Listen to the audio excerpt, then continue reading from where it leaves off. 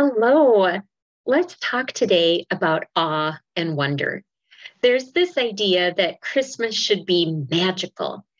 And what if we changed the perspective on that? And as we focus on the Christ child, also understand that awe and wonder come along with that story. As the shepherds leave seeing the uh, newborn baby, they tell everyone they meet about it, and people wonder. And Mary ponders all of these things in her heart. Then, if you fast forward to the end of Luke's gospel, we see again wonder. Peter wonders at the empty tomb. The women wonder at what they see. Awe and wonder.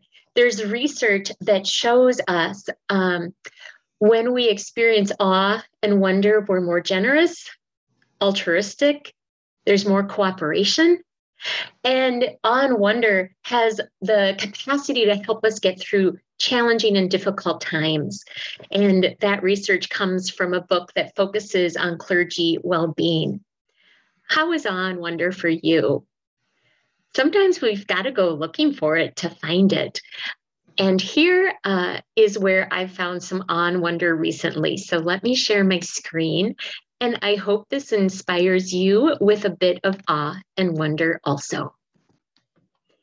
So these are our goats.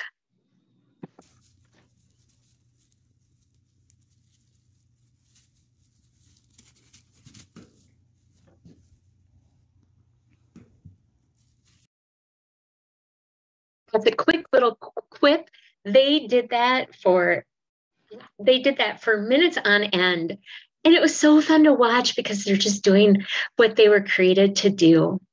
I hope and pray you are filled with awe and wonder.